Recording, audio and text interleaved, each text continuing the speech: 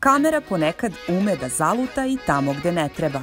Ovo nije slučajno jer je kod pevačice Sandre Rešić promena očigledna. Što bi rekla Maja Nikolić, ovaj, puno plazme jedem. Šalim se. menjala sam, menjala sam ovaj... Što se da videti. Jedni bi rekli da je pozitivna, a drugi luda, ali ona priznaje da se rešila svih muka.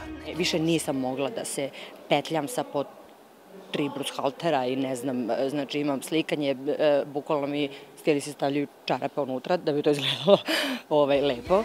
I dok njene koleginice kriju da su se podvrgle operaciji povećanja grudi, Ninova čerka se toga ne stidi. To je nešto u današnje vreme najnormalnija stvar.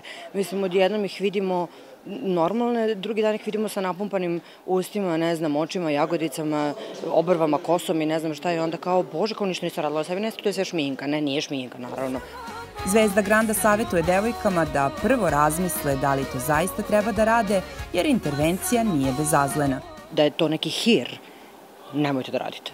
Ali ta bol je neizdržava, četiri nedelje je prošlo, ja i dalje sam u haosu. Ja ne znam kako ni stojim i pričam, ali Pevačica priznaje da više ne bi otišla pod nož i da je zadovoljna svojim izgledom. Posle promocije pesme Pozitivno luda na jesen će objaviti nekoliko obrada hitova Nina Rešića. Četiri su brze, ali nestandardne, znači nisu donesi divlje miris i udahni duboko, jer zaista mislim da dovoljno snimaka svojih imam sa, sa tim pesmama. Ove, izabrala sam neke pesme koje znam da ljudi vole i znam da ljudi reaguju na njih i da ih da baš ono diraju u srce, ali ove eto nisu tako nešto baš toliko javne.